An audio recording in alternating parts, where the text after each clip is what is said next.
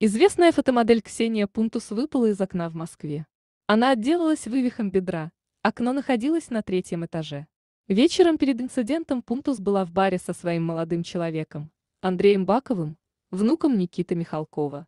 Он принял алкоголь, передает РИА Новости. Пару привезли домой друзья.